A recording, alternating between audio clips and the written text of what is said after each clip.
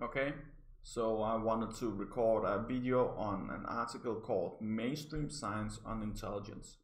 It's an article from, uh, you can see it was printed in Wall Street Journal in um, 1994 and it's a response to the responses to the bell curve. The bell curve is a very controversial book about intelligence and uh, it has uh, many different controversial chapters in it. But they were controversial because the public didn't know that much about it. So when journalists started reading about it, they are kind of perplexed and thought that it was bad science. Uh, so this is why why um, let me find her name. Oh, uh, she is here. You can see uh, Linda Gottfredson. She um, she wrote this article and then she sent it out to 100 uh, scientists. I think it was 100, yeah, and um, then 131 actually. 100 responded and 52, I think, 52 signed it. So uh, a lot of the people she sent it to, and the, these were scientists from psychology and genetics and scientific areas that um, that study intelligence. So uh, a lot of them agreed that this was actually what we know and understand about intelligence. And it's just one page. So it's a great response. I think it's still very much readable. It's a great introduction to intelligence and also because you have so many big names, let's look at some of them. So, or Arthur Jensen, the greatest intelligence scientist of all time, Harding is also someone uh, I have read about. I think Gottfredson, Hans Eysenck. Okay, a lot of uh, oh also Cattell, Raymond Cattell, interesting. So uh, Thomas J. Bouchard, a lot of interesting uh, people, a lot of interesting names that I know a lot about. Uh, David T. Lykken, Richard Lynn, also very very famous. Uh, Robert Plomin, very very famous uh, intelligence uh, scientist Philip Rushton. So these are Sandra Scarr also. These are huge huge names in psychology. And uh, let's see, they have uh, 25 points they made in the article. And while it's not conclusive because it's still a short page, they do have a great points. And it's also a bit old, so we have a new findings, but they cannot include everything either way. Okay, intelligence is a general mental capability. Okay, and it's a broad mental capability. It's not just the grades you have, it's just not not just uh, how well you do at your job, it's everything. And the intelligence as they describe it is the G factor, so it's IQ. There's a curve too.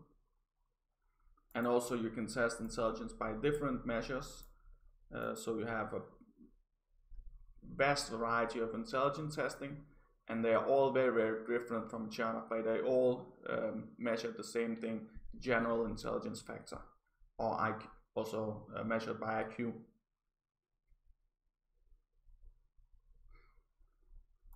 and these tests are not culturally biased. So one culture won't just get better results because they are a certain culture and we don't know that much about brain processes underlying intelligence. And here they write that black Americans have an average IQ of 85, whites have an average IQ of 100. And uh, curiously enough, they don't write that much about Jews and Asians. They just say they have probably a higher uh, uh IQ than white people. And that's also true.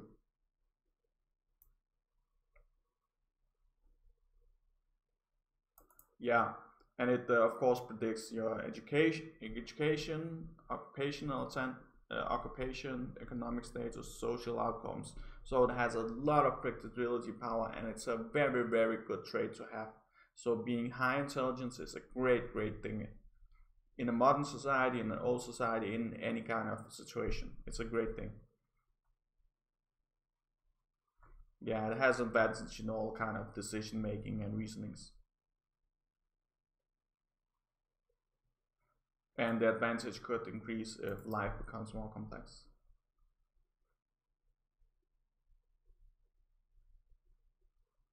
And there are also some other traits you can have that can make you better or worse at the job. For example, let's say you lack an arm that makes you worse at certain jobs, right? So of course, intelligence is not everything. It's just part of the traits you have. But it's still the best predictor of your grades and job status.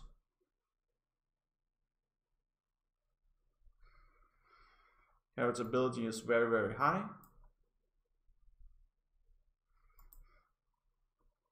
family members, uh, so you have siblings vary uh, with uh, on average 12 IQ points because they have you still um, have genes from the mother and the father. So it's random what genes the siblings will get. Some one sibling can have some genes, another sibling can have other genes. So all siblings will not have exactly the same IQ.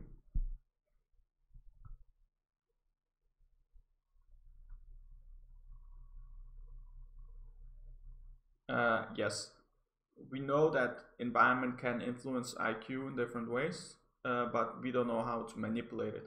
So we know it's not 100% heritability. There's something that can influence IQ in one way or the other because we have studied the monozygotic twins. So we know they're not exactly alike. They have a few differences, minor differences, but still some differences. And uh, but we don't know how to manipulate intelligence. So we cannot, in any kind of way, make one person more intelligent than another person. Even if we have monozygotic twins and we take one twin and uh, try to train him or make him more clever, that's that's not something we can do.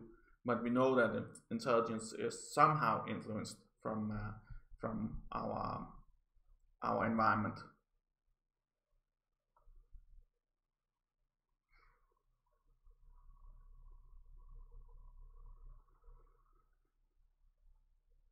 And they uh, refuse to answer why uh, bell curves differ among racial ethnic groups. Maybe the science was not that concrete back in 1994. We now know it's uh, heritable, so it's genetics, but still, I don't think that um, as many scientists will um, will sign something like this because it's still a controversial topic, no matter if we know it or not.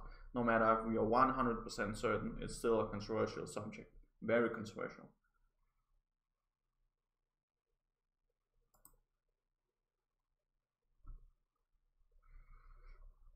Yes. So uh, yeah, that's it. That's uh, kind of this uh, mini introduction to intelligence, uh, written to uh, to the public, so they will understand what intelligence is and what mainstream science thinks about intelligence.